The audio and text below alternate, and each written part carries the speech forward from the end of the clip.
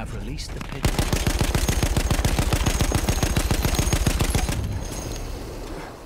The pigeon has delivered our message.